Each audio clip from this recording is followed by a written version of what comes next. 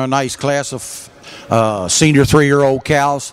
The uh, cow that I'm going to start the class with, it wasn't the easiest class to sort out as I went down through, but as I sorted out to find the cow with the least faults, and udder and feet and legs goes a long way with me and mature cows, and this cow easily has the best udder in the class. She has that flatness of bone, the cleanness of hock, she has the style, the balance, and when you analyze her from me, head to tail, she was the soundest and she was the cow that should go to the top of the class. Then I'll follow with a cow in second. That's not the biggest cow either amongst these big, powerful cows, but boy, she's got a tied on udder. She's got the style and balance when you get up close on her. She's got all the blending of parts. She's got the same kind of overall style and balance as that first prize cow to go into the second uh, hole today in this class. Then you come with a big, strong cow. You love this high chine on this cow. You love the frame. You just want to clean her up down through those legs, down through the bone. You want to just uh, tighten the fore udder up just a bit, but a beautiful suspensory ligament